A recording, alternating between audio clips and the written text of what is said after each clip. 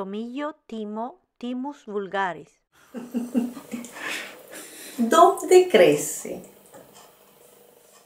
¿Por qué miro para allá? Esta plantita que tenemos aquí es el tomillo, Timo vulgaris. Es un arbusto siempre verde que crece en forma abundante en la zona mediterránea en lugares muy asoleados, entre rocas y piedras de terrenos que no han sido cultivados. Crece en forma espontánea, es muy aromático, fuertemente aromático. Además, es uno de 350 especies distintas que tienen flores que cambian entre el blanco, rosado o lila, dependiendo también de la ubicación respecto al sol. Es originario de Europa, del norte de África y parte de Asia, pero es ampliamente cultivado en todas partes. Crece además desde la costa hasta la faja submontañosa.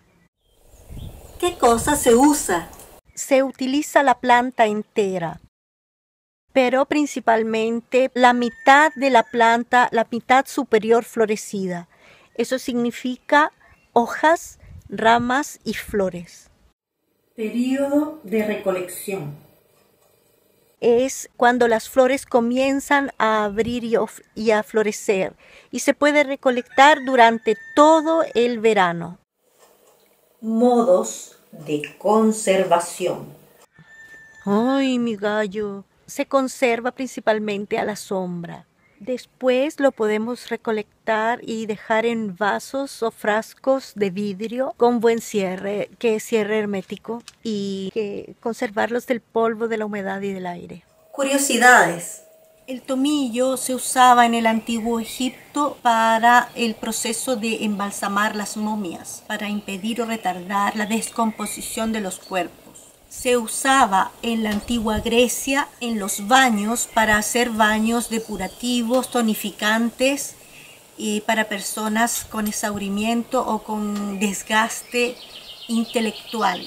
Se usaba, eh, los, los campesinos en Francia lo usaban como la primera colación para el desayuno, una infusión de timo para el aparato digestivo, para lograr eliminar todos los problemas del aparato digestivo.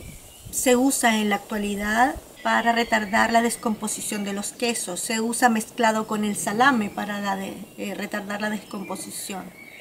Y también se utiliza para condimentar eh, sopas, pescados, carnes, para condimentar las aceitunas con aceite de oliva. Se utiliza en la cocina en forma abundante, fresco o seco. No posee contraindicaciones y en la época medieval existía como una contraposición entre los médicos. Existían médicos que en forma despreciativa el timo diciendo un arbusto tan pequeño con flores insignificantes, ¿cómo va a tener una mayor importancia que otras plantas que son de renombre, no sé. Eh, en cambio, eh, otros médicos le daban el verdadero sitio que se merece gracias a las propiedades que posee. Jóvenes estudiantes que, eh, que deben leer y rendir exámenes o que están pasando un periodo de estrés, pero también de desgaste intelectual, deben probar la infusión de timo y además hacer baños con, con la planta. Propiedades terapéuticas. Combate el debilitamiento, convalescencia, exaurimiento, atonía intestinal con fermentación del estómago, bronquitis crónica, asma, tos, es antiséptico, sirve para los dolores reumáticos, tortícolis, es cicatrizante, Sirve para ayudar a los niños débiles y raquíticos. En polvo como pasta de diente. Eh, se puede mezclar con salvia también como pasta de diente. Posee timol, sirve para la circulación, para el sistema nervioso, antipútrida, tónica, digestiva, para la anemia, meteorismo. El óleo esencial aplicado sobre la piel sirve para la piel grasa con tendencia a formar furúnculos. Modos de uso. Primer modo infusión, una cucharada de sopa de planta seca y desmenuzada en un litro de agua hervida. Se deja en infusión por 15 a 20 minutos. Se toman pequeñas tazas después de las comidas o alejado de las comidas. Esto como antifermentativo intestinal y como digestivo. Para conseguir mayor resultado, es oportuno tomar la infusión también en ayunas, por lo menos por tres meses. Segundo modo, tintura, 20 gramos de planta seca y desmenuzada en 80 ml de alcohol a 60 grados. Se deja macerar por 10 días, se cuela y se deposita en frascos con gotero. Se toman 30 a 40 gotas dos o tres veces al día.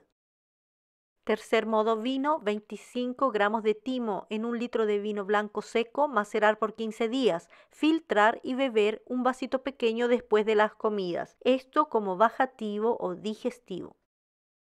Cuarto modo, esencia. Tomar 4 a 5 gotas 3 o 4 veces al día mezclada con miel. Quinto modo, polvo, se obtiene machacando la planta seca principalmente o de preferencia las hojas. Se toman una o dos cucharitas pequeñas al día, solo con miel o mermelada. Son un óptimo dentífrico. Unido a la salvia, se puede usar entonces como pasta de dientes.